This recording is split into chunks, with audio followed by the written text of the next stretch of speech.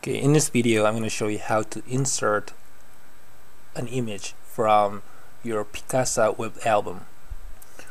And to do that, first uh, place the cursor where you want to insert the image. Then go to Insert an Image.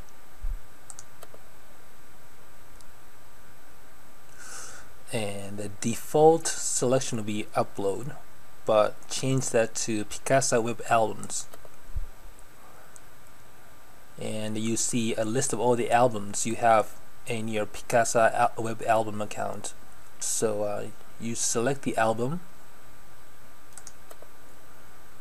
Then it'll show you all the photos in the album. Then select your photo you want to insert and then select. Click select.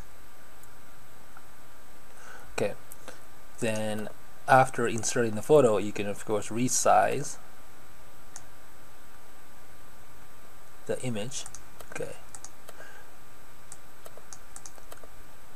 Okay that's it. This is how you insert the image from your Picasa web album